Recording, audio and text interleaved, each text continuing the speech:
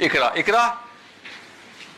आपका रिश्ता है मदरसे से फारग तहसील हाफिज मोहम्मद इलियास कादरी साहब का, ठीक है? ये आप लोग हंस क्यों रहे हैं? अंदर का देखा निकला अंदर का सारा गुबार बाहर निकला है। खाली मैंने इस्लामी नाम बताया और सब क्या के मार रहे हैं। आप क्या समझ रहे हैं? मुझे पता नहीं है।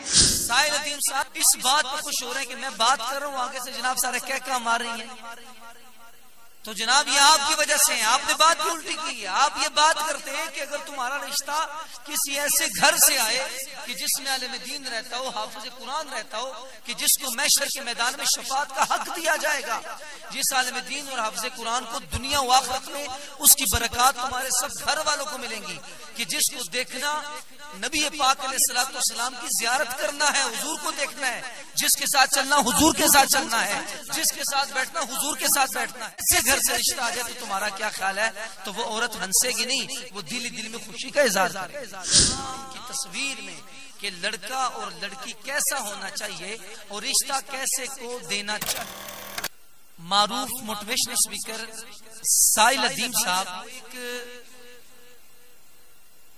मुसलमान बहन को पुकारते हुए कहता है कि इकरा आपका रिश्ता है। मदरसे से फारिग तहसील हाफिज मोहम्मद इलियास कादरी साहब का। कहकर खामोश हो जाता है? सामने से एकदम कह कहा लगता है ऊँची आवाज़ में। थोड़ी देर बाद कहता है कि आप लोग हंस क्यों रहे हैं? अंदर का देखे बाहर निकल रहा है। फिर कहता अंदर का गुबार देखे बाहर है सारा। और आप लोग सब कह कर मार के हंस रहे हैं? आप क्या समझते हैं? मुझे पता नहीं है। तो यूँ कहकर एक अंदाज में वो सामने वालों को हंसाया जा रहा है, जितनी खातन उसके सामने बैठी तो जिस बंदे का जितना भी जो एक मवाद इंटरनेट से मिले, वो देखकर बंदा दीन बेजार हो जाए या दीन से दूर हो जाए, ऐसे बंदे के लेक्चर सुनकर उलमा पर हंसा जाएगा, हुफाज पर हंसा जाएगा, मदारिस पर हंसा जाएगा। हाँ अगर ये यहाँ पर ये बात कहता कि उस खातून को मुखातिब करते हुए कहता कि अगर आपका रिश्ता है मदरसे से हाफिज फला फला साहब का वो तो हंस पड़ी। अगर ये इसकी जगह ये बात कह देता कि ए फलानी औरत तुम्हारा रिश्ता ऐसी शख्सियत की तरफ़ से आए कि जिस शख्सियत के बारे में शरह कैद नसफिया में आया है कि जो आलिम दीन होता है या तालब इलम होता है जब वो कब्रिस्तान के पास से गुजरता है तो चालीस दिन के लिए अल्लाह ताला कब्र वालों से अजाब उठा लेता है। तो बताओ, ए लड़की, अगर रिश्ता ऐसों की तरफ़ से आए, ऐसी सिफत वाले मर्द की तरफ़ से आए तो तुम्हारा क्या ख्याल है? यकीनन वो ऊँचा ना भी बोली तो दिल में सुबह अल्लाह, माशाल्लाह ज़रूर बोलेगी। अगर मोटिवेशनल स्पीकर साहब, आप उसकी जगह ये कहते कि तुम्हारा ऐसी सिफत या ऐसे इनाम इकराम रखने वाले शख्सियत की तरफ़ से आए कि जिनके बारे में ये आया कि जब वो घर से निकलते हैं तो अल्लाह ताला की हिफाजत में होते हैं, फरिश्ते उनके लिए दुआएँ करते हैं पानी में मछलियाँ उनके लिए इस्तेफार करती हैं और घर लौटने से पहले अगर उनका इंतकाल हो जाए तो वो शहीद का दर्जा पाएँगे शहदा के साथ में उठेंगे अगर तुम्हारा रिश्ता ऐसे की तरफ़ से आ जाए तुम्हारा क्या ख्याल है? तो यकीनन वो लड़की सुबह अल्लाह और माशाल्लाह दिल से कहेगी। मोटिवेशनल स्पीकर साहब अगर आप इस लड़की को इस मुकाम पर यह कहते कि तुम्हारा रिश्ता आए एक ऐसी शख्सियत की तरफ़ से कि जिनके अंदर अल्लाह की तरफ़ से यह खसूसियत और इनाम और इकराम पाया जाता है कि वो हाफज कुरान है और हाफज कुरान की शान ये है कि वो दस ऐसे बंदों को जन्नत में लेकर जाएगा कि जिन पर उनके अमाल की वजह से जहन्नुम वाजिब हो चुका था। तो तुम्हारा क्या ख्याल तो यकीनन वो दिल से बोलेगी सुबह माशाल्लाह। मोटिवेशनल स्पीकर साहब, अगर आप उस मुकाम पर ये कहते हैं कि तुम्हारा रिश्ता ऐसी शख्सियत की तरफ़ से आए कि जिनके बारे में अहादीस में आया कि आलिम दीन जो है, वो कल बरोज मशर बेशुमार लोगों की बख्शिश करवाएगा, शफात करवाएगा। वो मैदान मशर में अल्लाह रब्बुल इज़्ज़त उसको ये इख्तियार देगा कि वो अनगिनत लोगों को हाथ से पकड़ पकड़ कर जन्नत में दाखिल करवाएगा। उसकी सिफारिश वहाँ पर चलेगी, जहाँ पर बड़ों बड़ों को जनाबे वाला वो दूसरों की मोताजी होगी।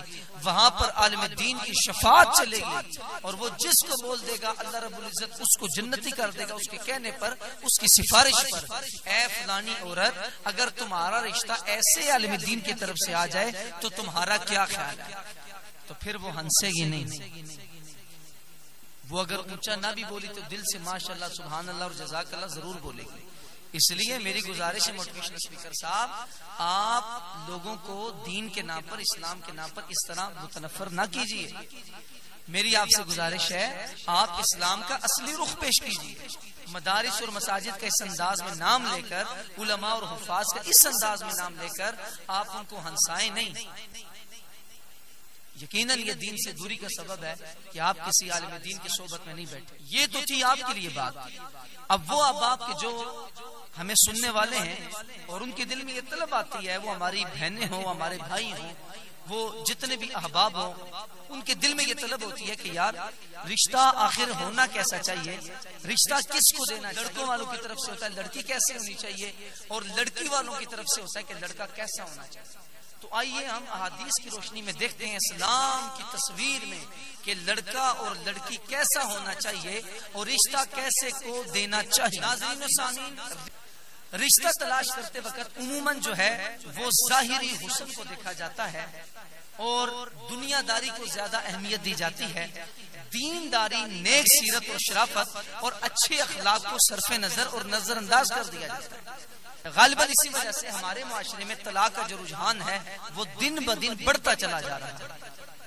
हज़ार ग्रामीण बातनी तौर पर इंसान खूबसूरत ना हो, जाहिरी हुसन को हमने क्या करना और उसके जाहिरी हुसन और खूबसूरती किस काम की है?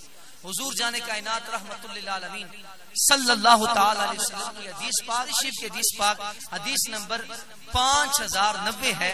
हुजूर नबी करीम सलाम ने इरशाद फरमाया, अन अबी हुरैरता रज़ी अल्लाह तआला अन्हु अन नबी सल्लल्लाहु अलैहि वसल्लम, काला मरअतु लिअरबइन, कि औरत से निकाह चार बातों की वजह से किया जाता है। लिमालिहा वली हसबिहा व जमालिहा वली दीनिहा उसके माल की वजह से। और खानदानी शर्फ की वजह से, यानी खानदानी बड़ाई की वजह से व जमालिया और उसकी खूबसूरती की वजह से वली दीनिहा और उसके दीन की वजह से। तो फरमाया कि फज फर बिजात दीनी तारिबत यदा का। हुजूर नबी करीम इस्लाम ने फरमाया तो दीनदार औरत से निकाह कर। तू दीनदार औरत से निकाह करके कामयाबी हासिल कर।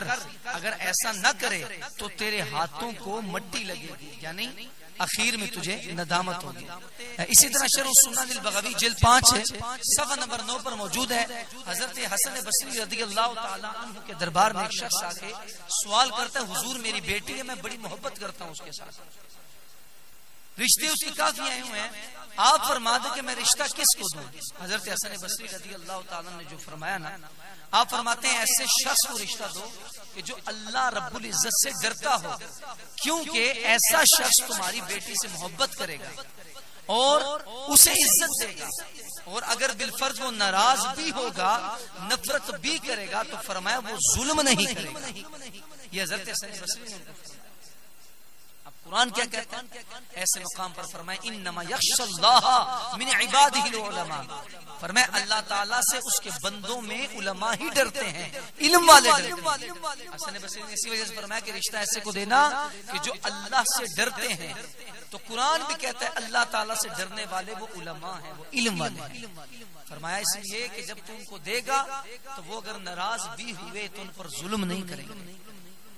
और इसी तरह अल मोजमुल औसत की हदीस नंबर तेईस सौ बैतालीस है कि जिसने किसी औरत से निकाह इस वजह से किया, उसकी इज़्ज़त की वजह से तो फरमाया अल्लाह ताला उसकी जिल्लत को बढ़ा देगा।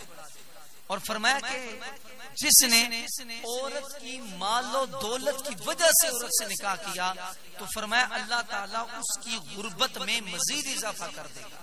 और नंबर तीन फरमाया कि जिसने औरत से हसब, यानी खानदानी बड़ाई की वजह से निकाह किया तो फरमाया उसके बारे में, अल्लाह ताला उसकी जो कमीनगी है उसको बढ़ा दे।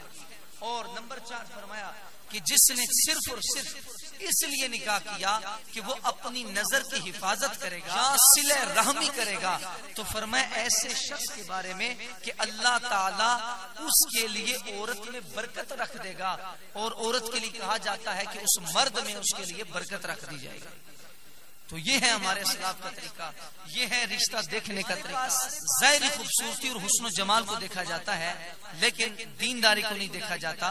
तो मैं बिल्कुल ऐसों को ये कहूँगा, और जो हमसे पूछने वाले लोग हैं, मैं उनको भी पैगाम देना चाहता हूँ कि खुदा के लिए रिश्ता देने से पहले दीनदारी को देखना, दीनदारी को। बंदा दीनदार हुआ, अल्लाह की इज़्ज़त की कसम उठा के कहता हूँ, वो इतना गैरतमंद होगा कि वो दुनिया में भी और आखिरत में भी काम आएगा। और जिस मर्द को, दीनदार को, आलिम दीन को हाफज कुरान को रिश्ता देंगे इनशाला सही अकीदा वो मुसलमान होगा तो उसका फ़ायदा ये होगा कि इनशाला अज़ीज़ वो दुनिया में भी काम आएगा, अपनी आपकी इस बहन, आपकी बेटी, अपनी इस जो है बीवी और जौजा को वो गुनाहों से बचाई रखेगा। इनशाला कब्र में भी ये रिश्ता काम आएगा, हशर में भी आपको इस रिश्ते का फ़ायदा होगा। और अगर दुनियादार को रिश्ता दिया, बिल्कुल दीन बेजार को रिश्ता दिया, दीन से नफरत करने वाले को रिश्ता दिया तो दुनिया में भी गल पड़ेगा, कब्र में भी गल पड़ेगा और हशर में भी जवाब देना पड़ेगा।